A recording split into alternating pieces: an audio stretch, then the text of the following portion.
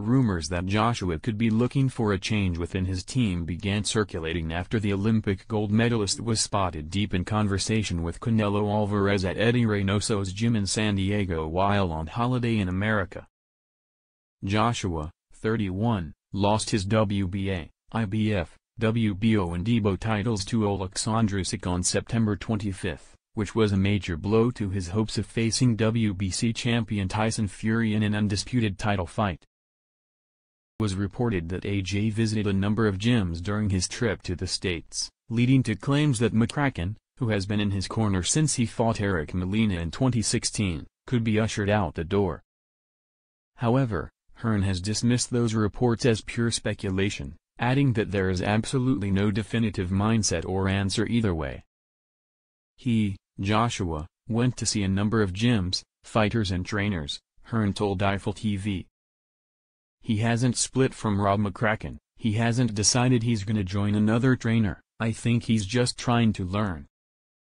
He's trying to look at his setup, trying to look at ways to improve, and he's working. He's out there, putting the work in now every day getting ready for the rematch, and I've never seen him so focused for a fight, for a rematch. He just wants to get it 100% right because he knows he must win this fight.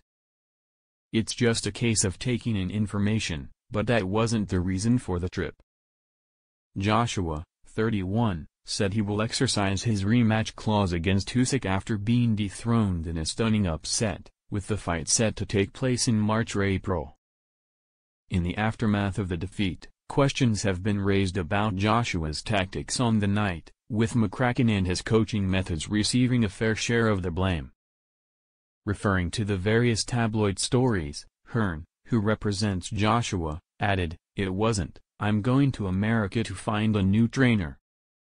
It was just, I want some time away, and he chilled out a little bit, he went to a couple of gyms. He went to see Canelo to watch him spar, talk to him, met Eddie Reynoso. He continued, it wasn't to go and meet different trainers, it had more to do with the setup of where he trains as well. Does he need a new environment to train in?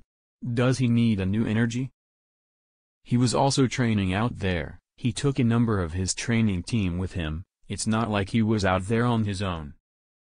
He's making sure he's in the position to win this fight, and he'll leave no stone unturned. While Joshua has not commented on the split rumors he was active on social media on Saturday night as he revealed he is still smarting from his loss to Usyk.